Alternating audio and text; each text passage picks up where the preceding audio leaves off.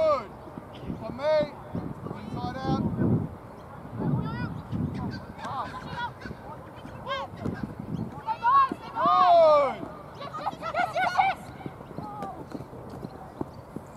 On Jordan. Someone in the middle.